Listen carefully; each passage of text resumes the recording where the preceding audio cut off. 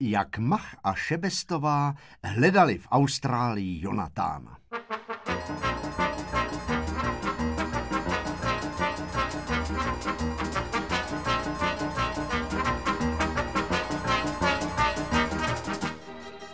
Jednou odletěla paní Kadnošková na měsíc za sestrou Boženou do Austrálie, Jonatána vzala sebou a Mach s Šebestovou byli úplně bez nálady pořád jenom počítali dny, kdy se Jonatán vrátí. Bylo to úplně k nepřečkání. To víte, měsíc je hrozně dlouhá doba, zvlášť když čekáte na kamaráda, ale nakonec byl ten měsíc přece jenom pryč a Mach s Šebestovou jeli s panem Machem na letiště paní Kadnoškové naproti.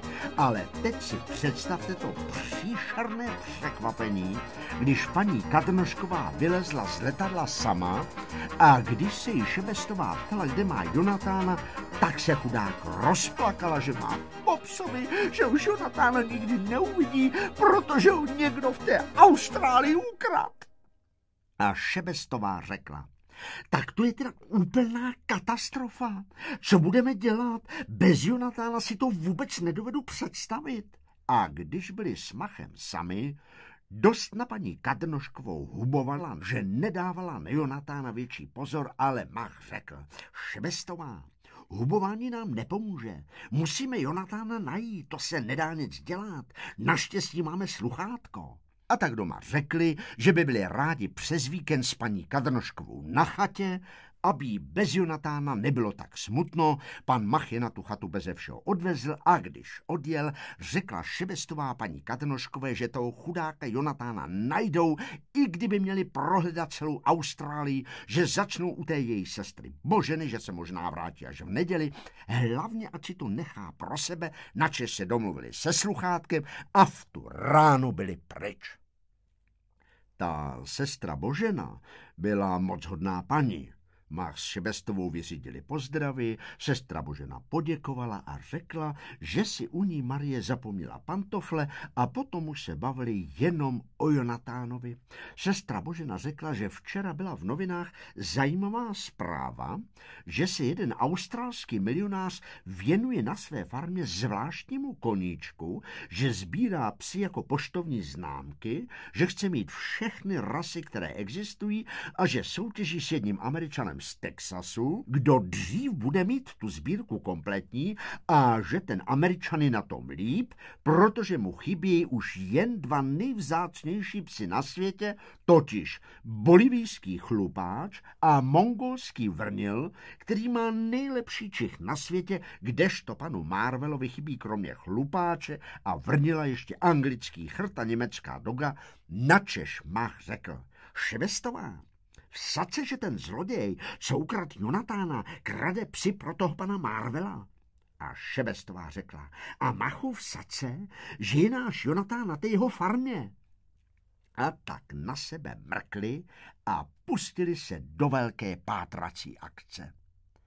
A tak se s tou sestrou Boženou rozloučili, vzali pantofle pro paní Kadnoškovou, poprosili sluchátko, aby je proměnil v ty dva nejvzácnější psy, z Macha byl maličký mongolský vrnil, zatímco Šebestová se stala bolivijským chlupáčem, vysokým hafanem s velkýma ušima a potom běhali po ulici a čekali, kdy se objeví ten zloděj a jak tak běhali, zastavilo u nich auto, dva chlapí je popadli a než se vzpamatovali, byli na zadním sedadle, kde seděl anglický chrt a německá doga, což byli psi ukradení pro pana Marvela, Max Šebestovou řekli ahoj, samo sebou v psím jazyce, anglický chrt vůbec neodpověděl, Doga akorát zamručila, my jste nám tu chyběli. A pak už jenom jeli a jeli, namačkaní na zadním sedadli jako sardinky. Jeli pořád dál a dál a koukali z okýnka, viděli stáda ovcí a sem tam nějakého klokana a jak ta koukají, slyší toho jednoho zloděje, jak povídá. Člověče, to byla klika, že jsme kromě toho chrta a té dogy chytili ty dva nejvzácnější psy. Musíme si rozmyslet, komu je prodáme. Jestli panu Marvelovi nebo tomu Američanovi. Ten Američan připlatí víc. A ten druhý zloděj povídá. Když platí víc, tak ji odneseme do Ameriky. Kýma praky.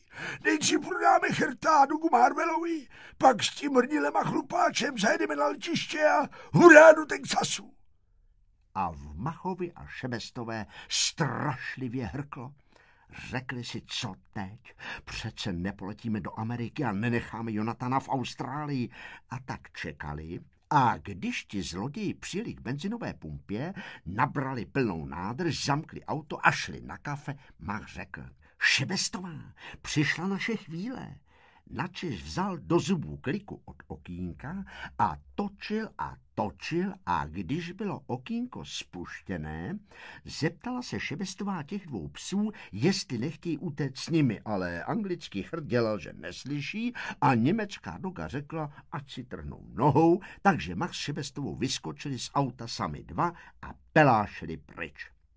Šebestové šlo to pelášení bezvadně, protože bolivijský chlupáč je velký pes a má dlouhé nohy, horší to bylo s machem, který byl malým pejsánkem s kratičkýma nohama a tak Šebestová třikrát štěkla, což bylo smluvené znamení, sluchátko udělalo z chlupáče Šebestovou a ta řekla, hele, machu, takhle by to nešlo, ty zůstáváš pořád pozadu, s takou bychom na tu farmu běželi týden a poprosila sluchátko, aby z ní udělalo klokana. Ten maličký vrnil si vlezl do kapsy, kterou má klokan na břiše a pak Šebestová skákala dlouhými skoky tak rychle kupředu, jako by to žádný pes na světě nedokázal. A zatímco Šebestová skákala a skákala, Mach seděl v kapse a rozhlížel se po okolí. Viděl legrační medvídky koaly ve větvích eukalyptů, viděl spousty divokých králíků, ale najednou zvedl čenich, začichal a začal vesele štěkat. Šebestová, cítím Jonatána, ještě takových pět kilometrů jsme tam a Šebestová, kterou už od toho skákání bolely nohy, si řekla, no zaplat pámbu, jenže v tom se stalo něco příšerného, s čím nikdo nepočítal. Šebestová dostala hroznou ránu klackem do hlavy, padla do trávy a už se nehnula a Mach se strašlivě lekl a řekl si, tak, a s Šebestovou je amen. Ten klacek který praštil Šebestovou, nebyl vlastně žádný klacek, ale bumerang, což je lovecký nástroj australských domorodců a dva takový domorodci právě přibíhali a jásali. Hurá, hurá, ulovili jsme klokana, to bude pochoutka, to bude pochoutka. Jeden vzal šebestou za přední nohy, druhý za zadní a už jí nesli do vesnice. Mongolského vrněla si nevšimli, protože Mach zalezl hluboko do klokaní kapsy, zuby mu cvakaly strachem a říkal si, pro pána Jána, jak tohle dopadne? Celá ta vesnice se těšila na prýma večeři. Náčelník řekl, že má chut na smažený klokaní mozeček. Kouzelník, který bafal z dýmky, měl chut na uzené klokaní pacičky. Kuchař řekl, jak je líbo. A začal brousit velký nůž na porcování. Jenže v tom vylezl z klokaní kapsy malý pejsek, třikrát štěkl, proměnil se v macha a ten řekl, já vám dám smažený mozeček, já vám dám uzené pačičky, jestli si myslíte, že zbaštíte švestovou večeři, tak to jste na velkém omilu. A vytáhl z kapsy sluchátko, sklokana byla šebestová a nastala strašná mela.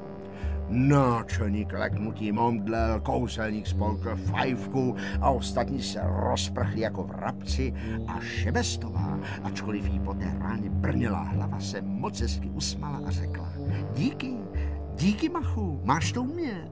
Nače se díky sluchátku proměnila v bolivijského hlubáče, Mach se proměnil v mongolského vrněla a běželi dál.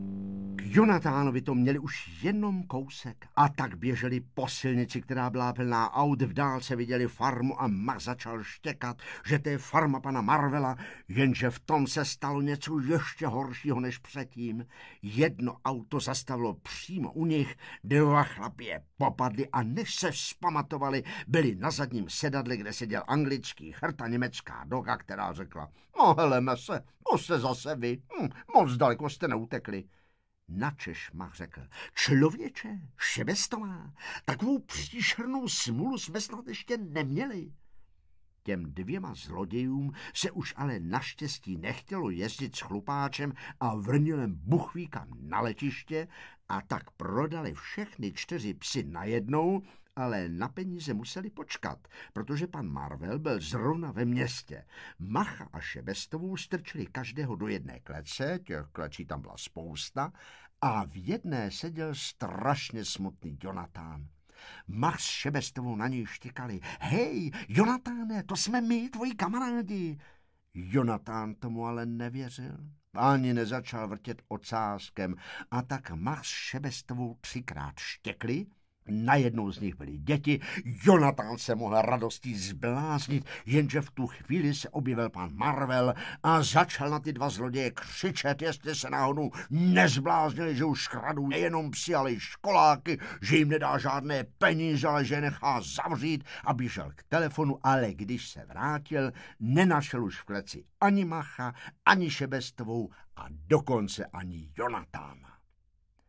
A zatím Daleko od farmy pana Marvela, daleko od Austrálie, jede pan Mach s paní Machovou na chatu paní Kadnoškové, aby odvezli děti z víkendu domů, už z dálky slyší psí štěkání a smích a když přijdou blíž, nevěří svým očím. Mach a Šebestová si hrají s Jonatánem, šťastná paní Kadrnošková si hraje s nimi, na nohu má své milované pantofle a pan Mach se ptá, jak je to možné, kde se to zvíře vzalo a paní Kadrnošková neví, jak to vysvětlit, nechce Macha s Šebestovou prozradit a tak lže, jako když tiskne, že Jonatán běžel přes půl země koula, aby se k ní mohl vrátit a paní Machová je neobyčejně dojatá, utírá si oči kapesníkem a říká, to je něco úžasného.